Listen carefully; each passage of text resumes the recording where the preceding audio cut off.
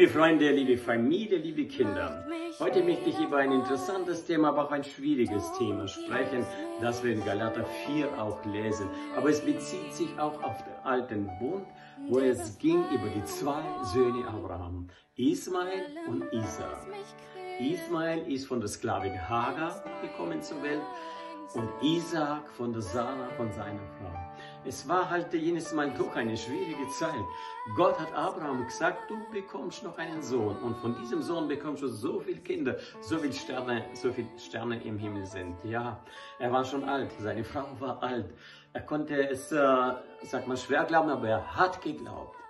Ja, die Frau hat es wahrscheinlich schwieriger gehabt mit diesem Glauben. Sie ist schon fast 90 Jahre. Ja, wie soll's dann? Sagt sie also, Abraham, komm, ich habe eine junge Sklavin die wird dann ein Kind gebären für dich, aber das wird auch mein Kind sein. Ich werde es auf meinem Schoß halten. Und so wird auch dann alles in Ordnung sein. Und das, was Gott gesagt wird, auch ja erfüllt sein. Und so war es auch. Und so hat dann die Hagar einen Sohn mit Namen Ismael geboren für Abraham oder für diese Familie, auch für die Sarah.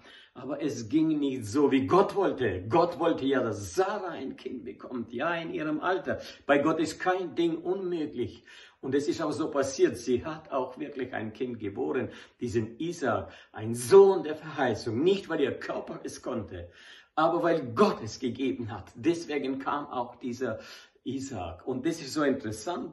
Paulus verwendet diese Geschichte aus dem Alten Bund auf den Neuen Testament. Denn eigentlich das Gesetz Gottes, die Liebe Gottes galt in erster Linie dem Volk Israel.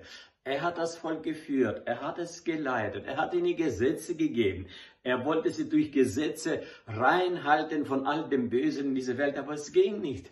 Es war richtig schwierig. Die haben Sünde getan, mussten also was opfern, manchmal ein Tier, manchmal eine Taube, etwas bringen, immer wieder und immer wieder gesündigt. Und immer wieder war es unmöglich. Und dann sagt Gott, ich werde meinen Sohn schicken. Das ist der Sohn der Verheißung, Jesus Christus. Er kommt in diese Welt. Er wird die Sünde der Welt auf sich nehmen. Dann braucht niemand mehr noch ein Schaf opfern oder noch was und sagen, vergib mir, weil Jesus wird sterben für jede Sünde des Menschen in dieser Welt. Und er wird Gnade geben denen, die ihn annehmen. Sie werden Kinder Gottes sein. Und deswegen sind wir heute, die Jesus angenommen haben, sind Kinder der Verheißung. Wir sind wirklich die Kinder Gottes, weil es so war.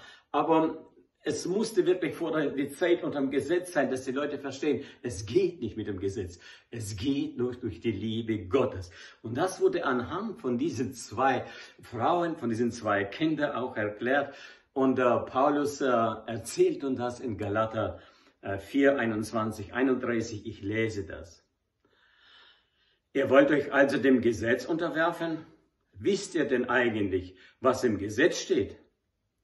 Dort heißt es, dass Abraham zwei Söhne hatte.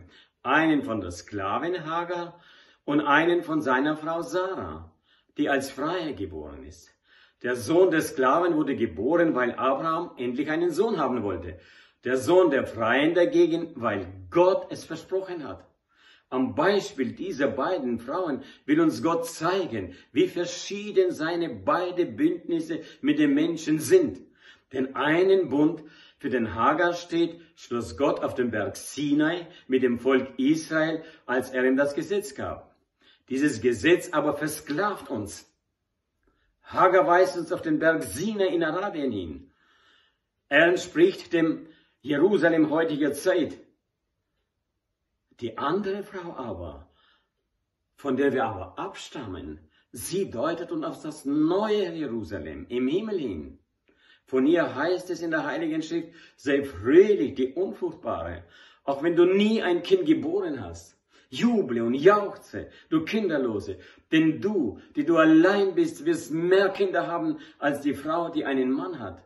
Liebe Brüder und Schwestern, ihr verdankt euer Leben wie Isaac der Zusage Gottes. Allerdings verfolgte schon damals der Sohn der Sklaven, der geboren wurde, weil Menschen es so wollten. Den Sohn der Freien, der geboren wurde, weil Gott es wollte. Genauso ist es auch heute. Aber was sagt die Heilige Schrift? Jage die Sklaven und ihren Sohn fort, denn der Sohn der Freien soll nicht mit uns das Erbe teilen.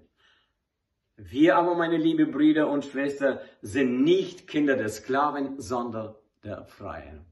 Ja, es ist ein langer Text, aber ein wichtiger Text, weil hier wird es so erklärt. Und ich bin Gott so dankbar, dass ich ein Sohn der Freien bin. Mir ist wichtig, was Jesus von mir heute äh, will. Ich will von ihm erfahren durch den Heiligen Geist, durch das Neue Testament. Auch das Alte Testament ist wichtig. Wir sehen, wie, wie es erklärt die Sachen. Aber wir sind nicht mit dem Gesetz also wirklich unterjocht.